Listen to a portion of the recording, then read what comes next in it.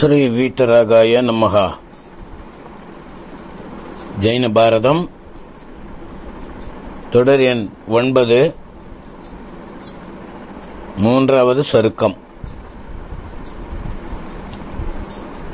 வணக்கம் பவியர்களே. குருகுலத்து குலவிளக்குகளாக திகழ்ந்த வேத வியாசனின் மூன்று புதல்வர்களாகிய திருதராஷ்டிரன் பாண்டு விதுரர். இப்படியாகிய மூவரும்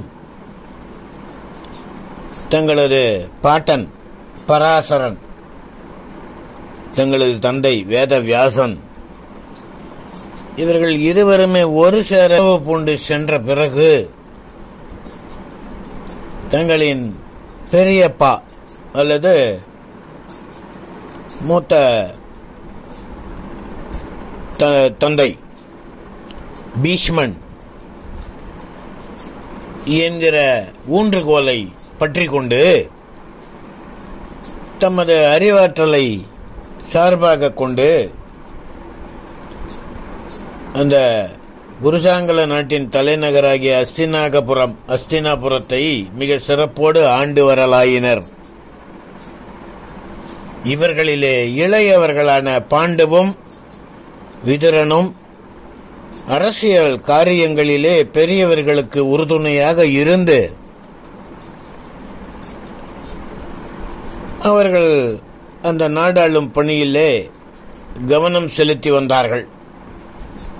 செய்திகள் இவ்வாறாக இருக்க இந்த குரு வம்சத்தோடு நெருங்கிய உறவு முறை கொண்டிருந்த யதுகுல அரசர்களின் வரலாற்றை பற்றி நாம் சிறிது தெரிந்து கொள்ள வேண்டும். அண்டை தேசங்கள் எல்லாம் பகை நாடுகள் அல்ல. ஒரு அரசருக்கு இன்னொரு அரசர் மாற்று குலமாக இருந்தாலும் நட்பு பாராட்டி வாழ்ந்தார்கள். அந்த விதத்திலே குரு வம்சத்திற்கு ஆதரவாகவும் உறுதுணையாகவும் நட்புறவோடும் விளங்கிய யதுகுல அரசர்கள். இந்த அரசர்களிலே ஒரு சிலரை பற்றி தெரிந்து கொள்ள வேண்டியது இன்றியமையாதது என்பதினாலே அந்த காலத்தில் சூரியபுரம் என்கிற நகரம் ஒன்று பல வகை செல்வங்களையும் பெற்று சிறந்து விளங்கியது. அதை சிம்மகேத்து என்பவன் மரபிலே வந்த சூரசேனன் அப்படிப்பட்ட அந்த பெயருடைய அரசனுக்கு புதல்வனாக அந்தக விஷ்ணி என்பவன் ஆண்டு வந்தான். அவன் தம்பி நரவிருஷ்ணி என்பவன். இந்த இருவரும் தாம் பிறந்த எதுகுலத்திற்கு பேரும் புகழும் சேர்க்கும் நற்பண்புகள் பெற்று சிறந்து விளங்கினார்கள். அவர்கள் பிறந்த அந்த எதுகுலத்திற்கு அவர்கள் மிகவும் பெருமை சேர்க்கும்படி வாழ்ந்தார்கள் ஆட்சி புரிந்தார்கள். இல்லை என்று வந்த இரவலர்களுக்கு கற்பக கற்பக தருவாகவும் அழகிலும் ஆற்றலிலும் கலை வல்லமையிலும் இன்ன பிற வித்தைகளிலும் சூரிய சந்திரர்களைப் போல திகழ்ந்தார்கள் அண்ணன் தம்பிகள். அந்தக விருஷ்ணி நர விருஷ்ணி இவர்களின் இருவரிலே மூத்தவனாகிய அந்தக விருஷ்ணி அவனுடைய பட்டத்தரசி சுபத்ரை என்பவள். அவள் பெண்மை நலங்களுக்கு எல்லாம் உறைவிடமாக திகழ்ந்தாள். இந்த இரண்டு பேர் இரண்டு பேருக்கும் பத்து புதல்வர்களும் புதல்வியர் இருவரும் ஆக பத்து புதல்வர்கள் இரண்டு புதல்விகள். மொத்தம் பன்னெண்டு பேர் பிறந்திருக்காங்க. அந்தக விருஷ்ணிக்கும் சுபத்திரைக்கும் புதல்வர்களிலே மூத்தவன் சமுத்திர விஜயன் அவனுடைய தம்பியர்கள் முறையே அட்சோப்பியன் ஸ்திமித சாகரன் இமவான் விஜயன் அசலன் தாரணன் பூரணன் அபிநந்தனன் வசுதேவன். இப்படியாக சொல்லக்கூடிய பத்து மைந்தர்கள். இவர் இந்திரன் முதலாகிய திக்பாலகர்களோ பத்து திசையிலிருந்து வந்த யானைகளோ பூஷணாங்கம் என்று சொல்லப்படுகின்ற முதலியவான பத்து கற்ப தருக்களோ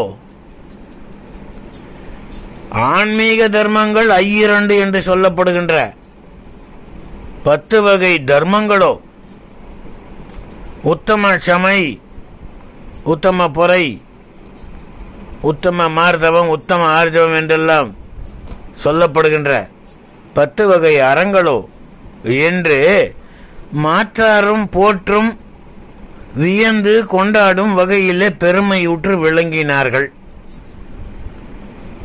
யதுகுல அரசரின் மைந்தர்கள் பத்து பேரும்.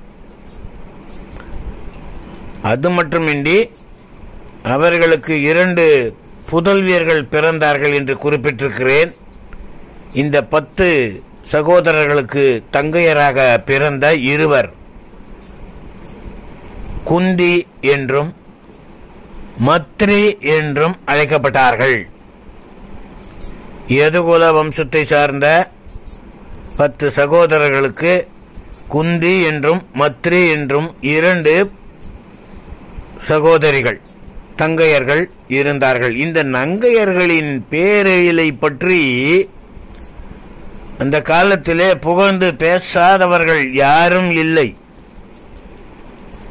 பிரம்மதேவன் இவர்கள் இருவரையும் படைத்த பிறகுதான் தான் மேற்கொண்ட படைத்தல் தொழிலின் முழுமையான பயனை எய்தினான் என்றெல்லாம்.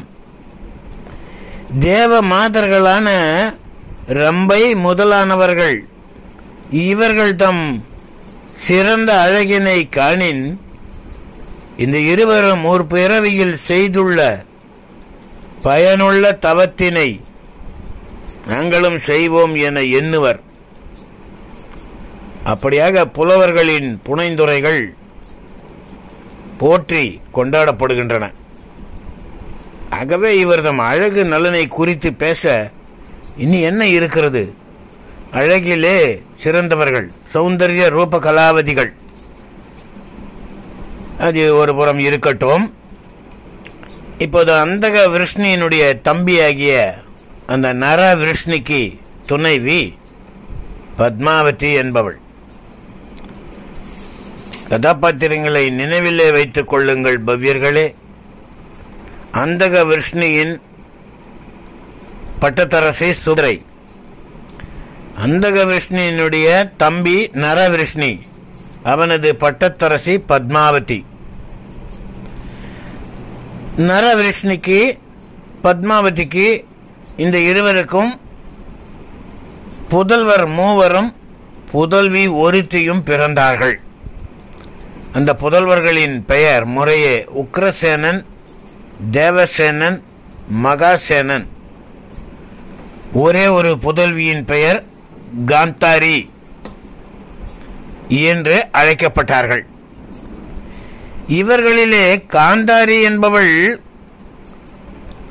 குந்தி மத்ரியைப் போலவே மிகுந்த பேரெழில் படைத்தவளாக விளங்கினாள்.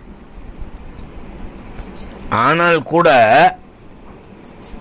இயல்பாகவே அவளிடத்திலே செருக்கும் மமதையும் குடிகொண்டிருந்தன. என்ன செய்கிற செய்வது? அமுதம் தோன்றும் இடத்திலேயே ஆழகாலமும் தோன்றியது அல்லவா? அது போன்றுதான். இன்னும் கூட ஒரு உதாரணம் சொல்லலாம். அழகிய ரோஜா மலர்கிற இடத்திலே குத்தும் முட்கள் தோன்றுவதில்லையா? செழுமை நிறைந்த செந்தாமரை தோன்றுகிற இடத்திலே கலங்கிய சேறு இருப்பது இல்லையா? அது மாதிரிதான். அவளிடத்திலே குடிகொண்டிருந்த செருக்கு மமதை. ஆக காந்தாரியை குறிப்பிட்டு கூறுகிற போது ஆசிரியர் இம்மாதிரி ஓமையை கூறுகின்றார். அதுதான் உண்மையும் கூட. தன் புதல்வர்களிலே மூத்தவனான சமுத்திர விஜயன் சகல கலைகளிலும் வல்லவனாகி குமர பருவம் எய்தியதை எய்தியதை கண்ட அந்தக விருஷ்ணி சிவதேவி என்கிற மங்கை அந்த நல்லாளை அவனுக்கு மணமுடித்து வைக்க உறுதி எடுத்தார். அது குறித்து தன் மாதுளன் முறையினராகிய குருகுல வேந்தர்களோடு கலந்து பேசிட எண்ணி அவர்களை தன் நகரத்திற்கு வருகை தருமாறு தூதுவர்கள் மூலமாக ஓலை விடுத்தான். ஓலையை பெற்று மகிழ்ந்த திருதராஷ்டிரன் பாண்டு விதுரன் ஆகிய மூவரும் உடனே புறப்பட்டு அந்த யதுகுல வம்சத்து நகரான சூரியபுரம் அந்த நகரத்தை சென்று அடைந்தார்கள். அரசன் அவர்களை வரவேற்று எதிர்கொண்டு அழைத்தான். அவையிடையே அவை அவை அவையிலே அமர வைத்து உபச்சார மொழிகளால் அவர்களை மகிழ்வித்த பின்பு மகனின் திருமணம் தொடர்பாக நடக்க வேண்டியதை குறித்து ஆலோசிக்கத் தொடங்கினான். இவ்வாறு சில நாட்கள் சென்றன. ஒரு நாள் குருகுல வேந்தனான அந்த பேரழகன் பாண்டுவை கலையரசியாக விளங்கிய குந்தி கண்ணுற்றாள். அவனது எழிலை கண்டு அவள் பெரும் காதல் கொண்டாள். அவன்பால் சென்ற தன் நெஞ்சை மீட்கும் வகையறியாது கலங்கினாள். அவள் அவனது பேரழகிலே தன் மனதை பறிகொடுத்து விட்டாள். என்கிறார் ஆசிரியர். இதன் காரணத்தினாலே குந்தியின் நினைவு ராப்பகலாக பாண்டுவின் மீதே நிலைத்திருக்கின்றது. இது அவள் அவனிடத்திலே விரகதாபம் கொண்டு விட்டாள் என்பது போல சுட்டிக்காட்டப்படுகிறது.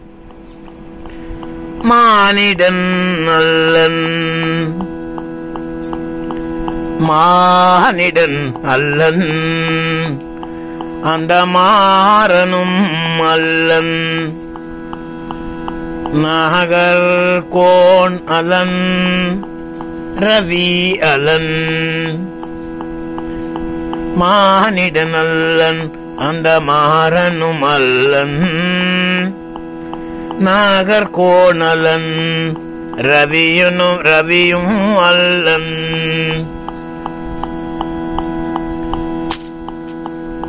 കുളിർമതി അവനു അല്ലൻ. കുളിർമതി അവനും അല്ലൻ. പാനരും വിദ്യാദേവനോ.